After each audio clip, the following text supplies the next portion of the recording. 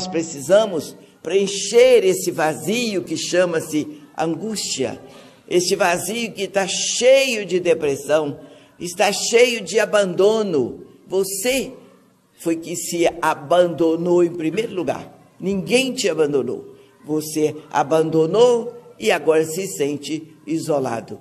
Volte, volte aos parentes.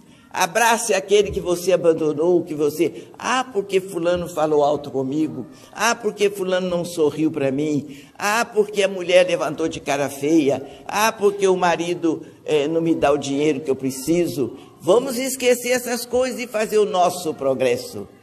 Utilize-se do defeito dos outros e faça desses defeitos os degraus para a sua evolução. Não corrija os outros, corrija você mesmo. Seja exemplo do bem seja exemplo do que é correto, do que é direito. Quando você falar, a espiritualidade superior vai falar por você, vai abençoar a sua fala, vai abençoar e receber a sua prece.